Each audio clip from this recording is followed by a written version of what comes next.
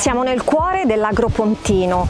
Eh, qui vicino a noi abbiamo il canale Mussolini e oggi vogliamo parlarvi di un prodotto tipico di questo territorio arrivato negli anni 90 per scelta di molti agricoltori e molti contadini. Parliamo del kiwi, in particolare oggi parleremo del kiwi giallo e lo faremo con la famiglia Bressan che è qui sul territorio da tantissimi anni. Siamo con Silvano Bressan, titolare di questa azienda. Silvano, raccontaci la storia di questa grande famiglia arrivata qui durante la bonifica dell'Agropontino.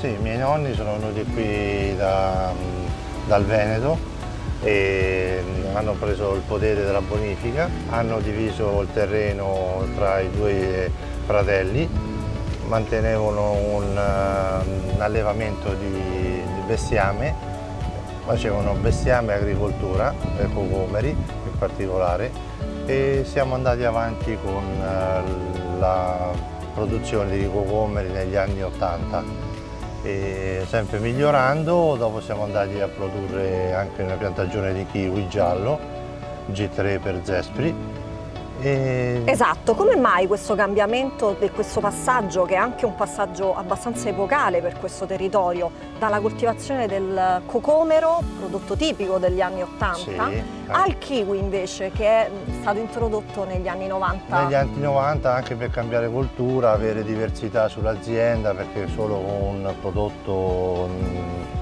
non, è, non, entravi nei mercati e quindi avere anche diversità di, di prodotto. Ecco. E perché la scelta del kiwi giallo? Ci è piaciuto più il kiwi giallo sul fatto di un'organizzazione Zesprid eh, eh, molto quotata mondiale sulla vendita e quindi siamo partiti con questo kiwi giallo. Siamo a settembre, sì. il mese sta per finire e siete in piena raccolta di questo prodotto. Come sono le fasi di lavorazione? Mi dicevi sono molto veloci anche. Molto veloci e molto devi essere molto tempestivo dalla fioritura, che devi essere tempestivo alla, a sistemare i fiori, ad iratare poi lo stesso il dirato del frutto perché devi fare un frutto perfetto, non ci deve essere nel piccolo, nel piatto, nel rovinato.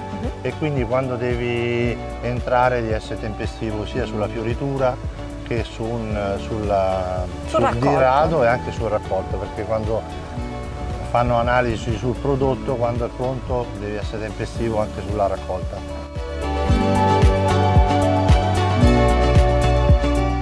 Ringraziamo Silvano e l'azienda agricola Bressan di Latina e buon raccolto allora. Grazie.